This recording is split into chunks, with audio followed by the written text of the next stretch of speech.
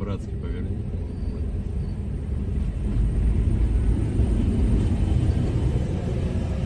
На поле собрался.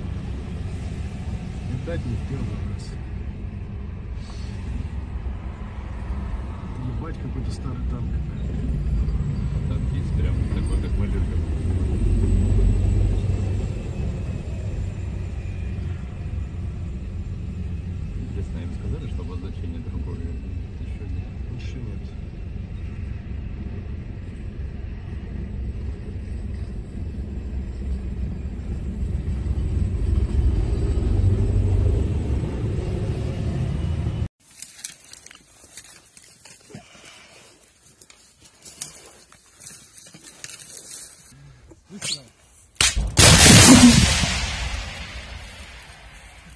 Владимир, собирайся.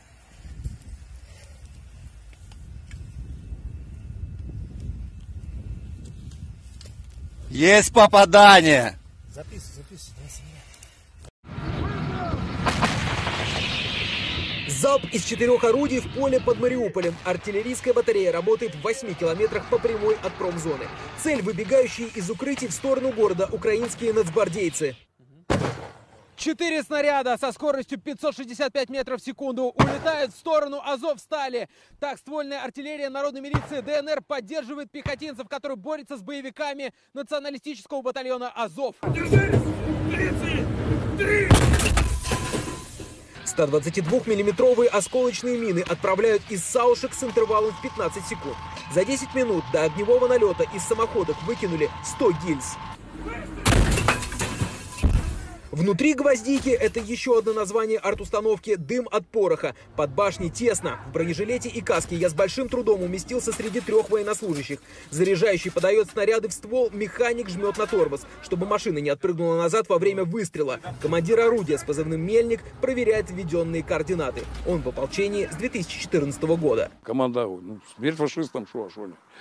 Доделаем работу дедов, как говорится. Наши деды чуть-чуть не доделали, а мы их доделаем за, за дедов, чтобы было не так обидно. По два снаряда белым огонь.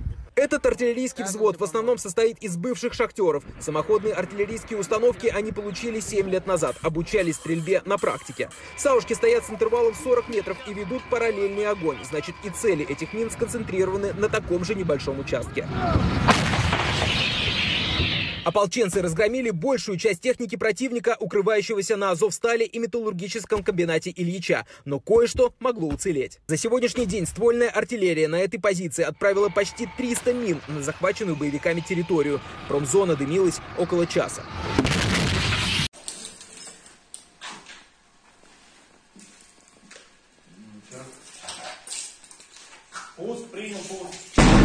А,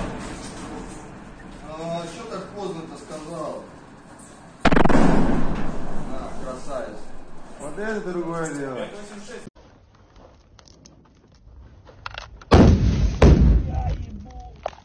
Не бачу звідки. Знов звідти, знов звідти, блядь.